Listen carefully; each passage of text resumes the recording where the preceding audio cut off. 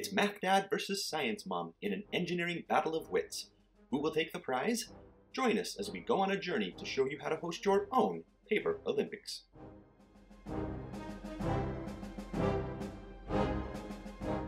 Before we get started with the first event, we have a warm-up challenge. Reproduce this design using only scissors and a single sheet of paper. Stick around to the end to see the solution.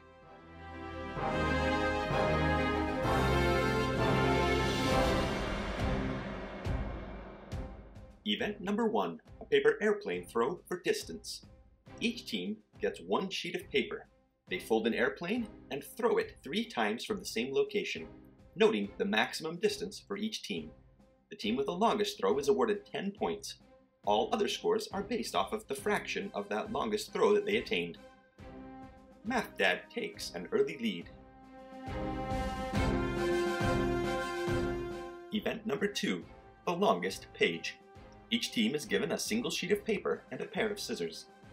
Each team has three minutes to cut the paper so that it stretches as far as possible in a single piece. The team with the longest paper scores 10 points, and the other teams score proportionally. Science Mom comes from behind to take the lead. Event number three, the tallest tower. Each team is given four sheets of paper, a pair of scissors, and a glue stick. Teams have three minutes to build a free-standing tower. The team with the tallest tower is awarded 10 points, and all other scores are proportional. Math Dad ran out of glue stick. Looks like it worked to his advantage. Event number 4, Paper Airplane Hang Time. Each team gets a sheet of paper to make an airplane. Throw it three times from the same location, noting the maximum time that an airplane stays in the air. The team with the longest hang time is awarded 10 points, and all other scores will be proportional to the time spent in the air. Math Dad still looking good. Event number 5, Blowgun. Each team gets two sheets of paper, scissors, and a glue stick. Fold the blowgun tube from one sheet of paper, and make ammo, maybe darts or balls, out of the other paper. Take as many shots as there are ammunition from the page, and note the longest distance of any shot. The team with the longest shot is awarded 10 points, and all other scores are based off of the fraction of that distance that they attain. Math Dad extends his lead. Event number 6, supporting a book. Each team gets several sheets of paper, a glue stick, and a dictionary to share between all the groups. Fold one or more sheets of paper so that they will hold the dictionary at least 10 centimeters above a table. The team that uses the fewest papers is awarded 10 points. Other teams lose a point for each additional page used. Well played, Science Mom.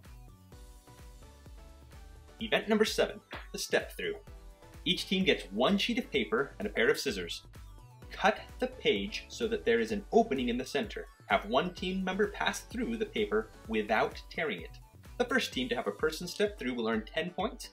Then a timer starts, and other teams get one fewer points for every 10 seconds behind the finish time of the first team. Go Math Dad!